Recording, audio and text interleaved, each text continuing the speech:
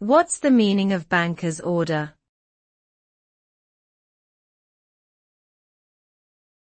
Banker's order.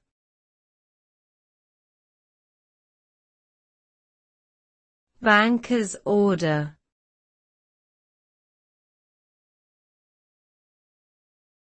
Banker's order.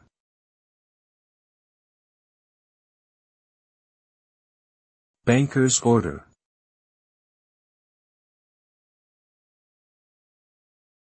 A banker's order, also known as a standing order, is a banking service that allows customers to automatically transfer a fixed amount of money from their bank account to a designated recipient on a regular basis.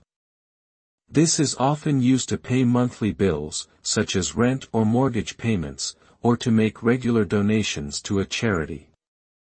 The customer sets up the order and specifies the amount, frequency, and duration of the payments.